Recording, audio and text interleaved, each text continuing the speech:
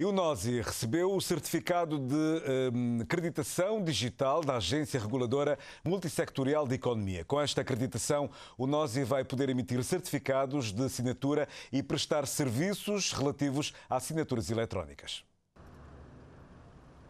O país passa agora a contar com três entidades certificadoras credenciadas.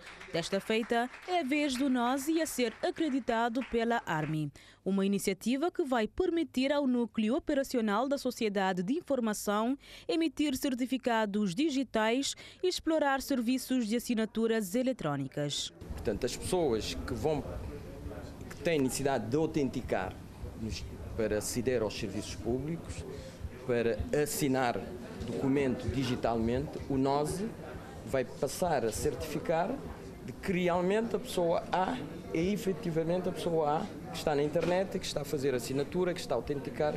Isto é muito importante porque eh, melhora a confiança.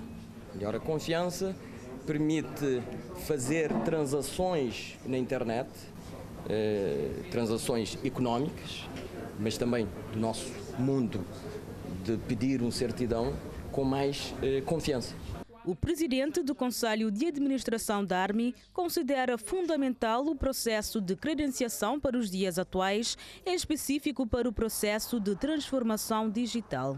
O simples e-mail que nós recebemos quase todos os dias, o serviço de webmail, praticamente todos os servidores que nos disponibilizam o serviço de webmail utilizam certificados digitais.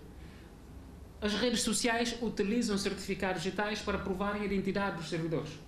E, portanto, os certificados digitais são fundamentais nos dias que correm enquanto nosso bilhete de identidade da internet e enquanto algo que prova a identidade das pessoas e das próprias máquinas. E é neste quadro que nós, mais uma vez, sentimos-nos profundamente felizes com a atitude de nós ah, em avançar com a sua credenciação enquanto entidade certificadora, porque de facto isto é fundamental no quadro do processo de transformação digital que nós temos para eh, eh, Cabo Verde e para o nosso país.